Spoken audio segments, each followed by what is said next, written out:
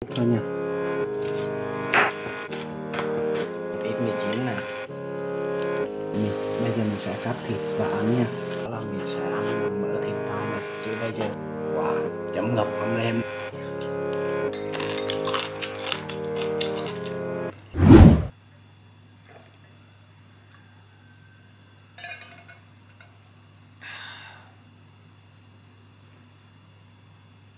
Ok, chào các bạn đến với ăn khuya cùng Hưng Duy nhé. Và hôm nay thì mình sẽ gọi là mình trong cái nỗ lực mà tìm kiếm content của mình á Thì cuối cùng mình đã nghĩ ra đó là mình sẽ làm những cái món ăn kiểu uh, tuổi thơ ấy. Mà cũng không phải là kiểu ăn vặt quá đâu Mà kiểu là những bữa ăn ngon mà ngày xưa ấy, những năm 2000 chẳng hạn. Đó thì bây giờ hôm nay thì mình sẽ làm bữa ăn ngon 2000 ý là bữa ăn ngon những năm 2000 chứ không phải là bữa ăn ngon 2000 hay 5000 đâu nha. Cũng không có cái vụ mà ờ, lòng xào dưa 30 cá đâu. Đây, để mà làm bữa cơm những năm 2000 mà bữa cơm ngon những năm 2000 hồi đó, thì mình có đây, cà pháo. Chắc chắn là bữa cơm ngon hồi đó là cà pháo rồi. Đấy, rất là ngon luôn cà pháo này thì các bạn muối thì các bạn nấu nước muối, nấu nước sôi lên nha, bỏ muối vào, hơi à, vừa vừa tí. Rồi sau đó các bạn để nguội, rồi cắt cà pháo ngâm thôi. Đây là chân ớt, mình sẽ làm mắm nêm. Đây là thịt tai heo. Tại vì bây giờ mà ăn thịt mỡ thì nó rất là ngán. Do đó thì cái này cũng mỡ mỡ thì ăn tai heo nó phù hợp hơn. Và nấu canh thì là sẽ là canh mồng tơi nhưng mà không bỏ cái gì hết nha. Chỉ có một chút dầu thôi gọi là một chút mỡ hồi đó, đó là ăn sẽ rất là ngon. Thì hồi đó là mình lúc mà mình biết đến thì chắc uh, mình cỡ sáu bảy tuổi gì đó bảy tám tuổi gì đó. Nói chung là hai lẻ mấy đấy các bạn. Đây đầu tiên thì mình sẽ làm sạch cái tai heo này trước. Tai heo này thì đã luộc rồi nhưng mà cũng cần phải làm sạch nữa. Ok, bây giờ mình sẽ đem hai cái tay này đi rửa, sau đó là đem đi à, luộc sơ qua là ăn được rồi. Vì cơ bản là cái tay này đã chín rồi các bạn. Ok, giờ mình sẽ mang tay heo đi luộc sơ qua nha, vì nó đã chín rồi ấy. Cho nên mình sẽ luộc khoảng tầm 2 phút 3 phút thôi nha. Giờ mình sẽ làm mắm nem nha. Đầu tiên mình sẽ cắt ớt ra này.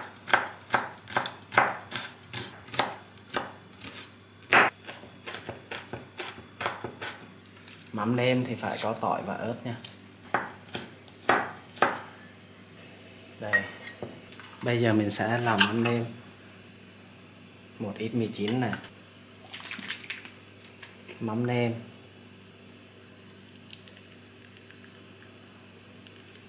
Vắt chân vào này. Mình sẽ vắt hai miếng chân trước. Lát nữa nếu như có gì mình sẽ điều chỉnh sau.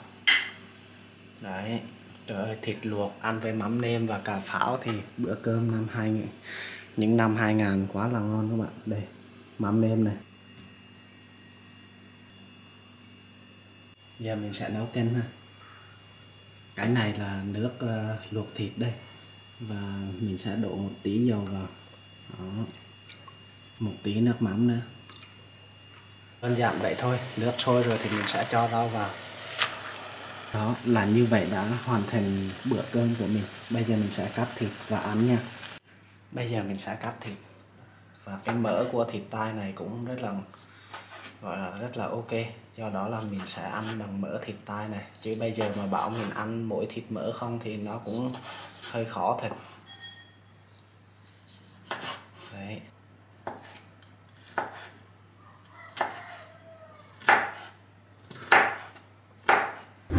Ok các bạn ơi, bây giờ mình sẽ ăn bữa cơm ngon những năm 2000 của mình nha. Thực sự luôn, nhìn rất là thèm luôn á. Mặc dù là những món rất là dân dã thôi, kiểu như đây, thịt mỡ này. Đó. Rất là mỡ luôn nha. Ăn với cà pháo Chấm mắm nêm. Mắm nêm này, chấm vô. Đã không? Đây là cơm của mình. Wow, chấm ngập mắm nêm luôn cũng rất là ngon. Thực sự luôn. Đây, cà pháo đây các bạn đó. Đó, bỏ vô. Ăn nha.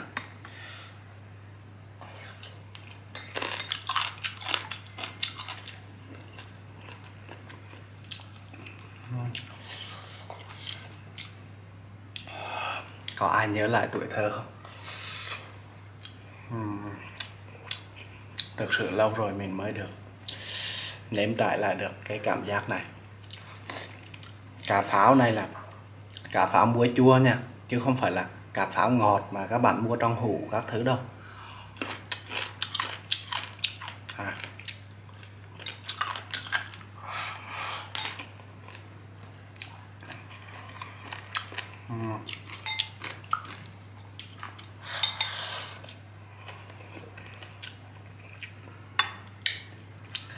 thịt mỡ thì nó béo béo, ăn với cà pháo thôi nó rất là hợp luôn.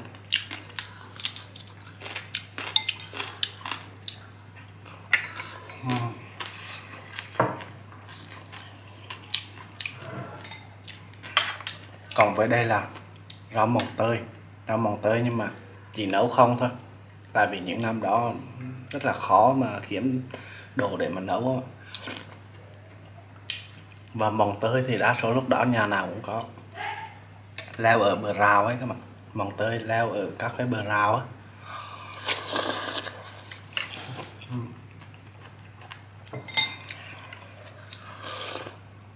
Nhưng mà ăn ngon hết sảy luôn á. Đây. Miếng thịt này. Đây. Đây là mình ăn thịt tai chứ thực ra ngày xưa là ăn thịt mỡ thôi các bạn. Cà pháo này. Kẹp vô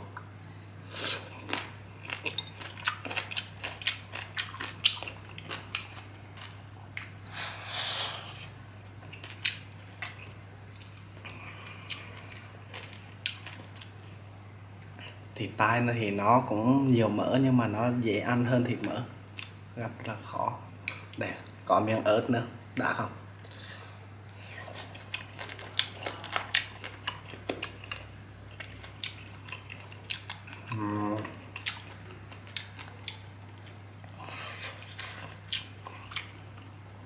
Cà pháo này, chấm vào mắm nêm, chấm thật là đậm vào.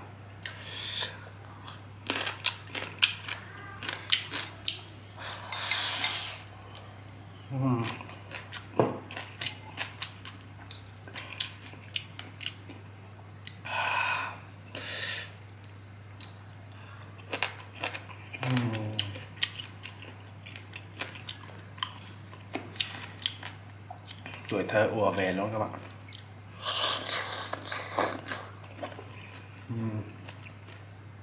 Hồi đó đi học về mà còn vài lát thịt mỡ một ít uh, cà pháo này. Trời ơi ta nói ăn nó ngon gì đâu nó ngon. Không diễn tả được thành lời luôn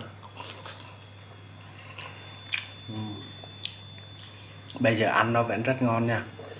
Cà pháo rất là giòn và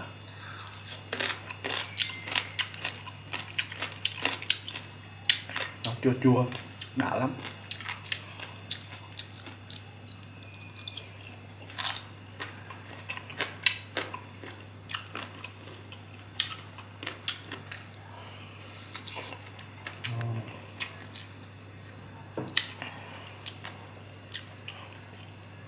Mình biết là nhiều bạn bây giờ chắc chưa ăn hai cái món này kết hợp với nhau đâu nhỉ?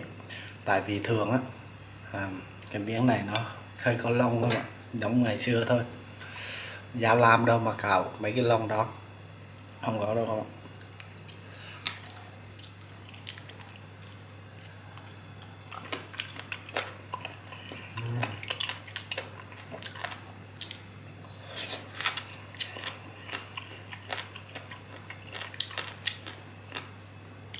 các bạn, bây giờ chắc là ít ăn món này rồi ha. Chắc là không ai làm á.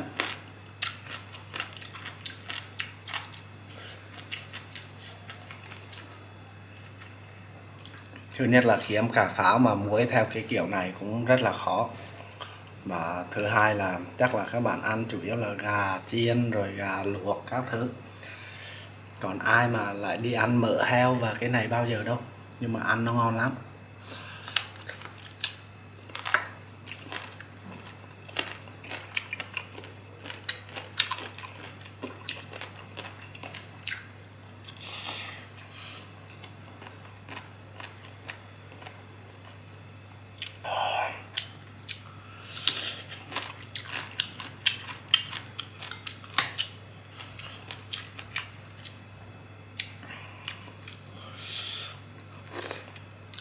Rất là ngon luôn. Đây, miếng mỡ này các bạn. Chấm vô.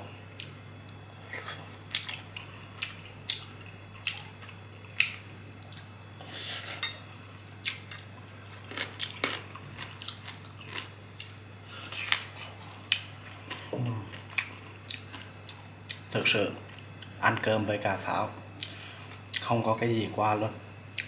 Mắm nữa, các cái loại mắm của Việt Nam, ăn cơm thì rồi, đã không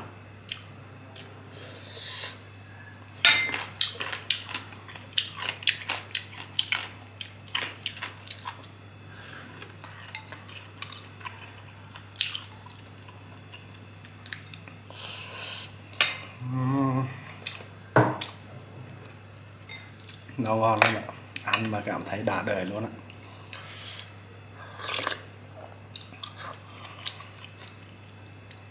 Tôm hùm các thứ cũng thua cái món này.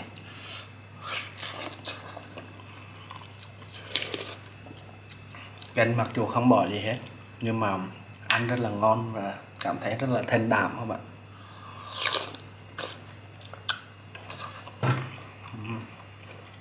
Có thịt mà ăn đâu các bạn.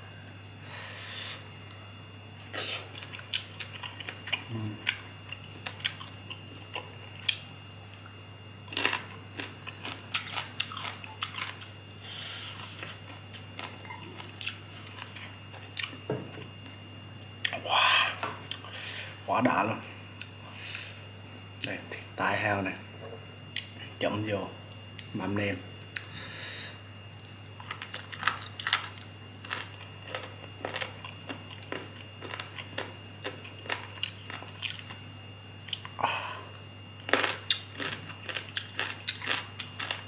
Nó nó phê.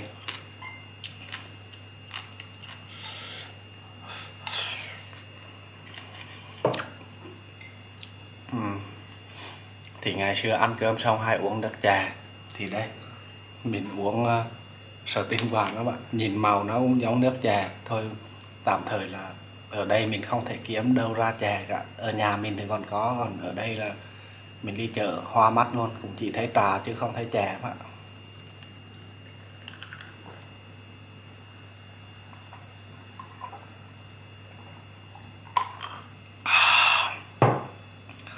quá ngon luôn đây thực sự là bữa ăn những năm 2000 đấy các bạn. Tuổi thơ của mình đấy. Nhưng mà ý là không phải là ngày nào cũng được ăn đâu, mà là bữa ăn ngon của những năm 2000 tức là bữa nào mà ngon mới có những món này. Cà pháo thì là thường xuyên có, nhưng mà thịt, quan trọng là thịt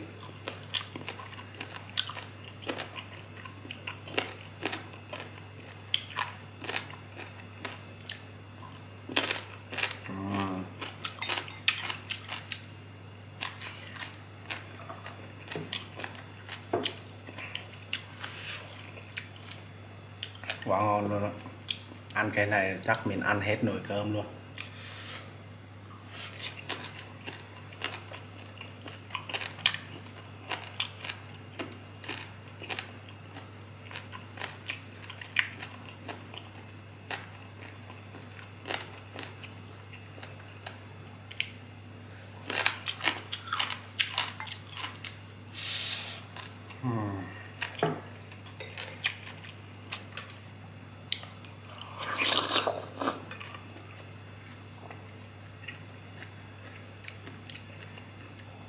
Ngon cực kỳ luôn. Ok, và hôm nay mình đã hoàn thành bữa ăn những năm 2000 bữa ăn ngon chứ. Còn những năm 2000 đôi khi là ăn không có như thế này, không có thịt ngon đâu ạ. Đó, lâu lâu mới có thôi. Do đó đây là bữa ăn ngon những năm 2000 có cà pháo mắm nêm và thịt, quá đã luôn. Bây giờ mình sẽ uống và tạm biệt các bạn. Các bạn muốn mình làm món ăn tuổi thơ của các bạn thì hãy comment phía bên dưới nha. Hay là thích mình ăn món gì, hãy cứ comment. Mình sẽ cố gắng đáp ứng nhanh nhất. Ok, cảm ơn các bạn. Bye bye.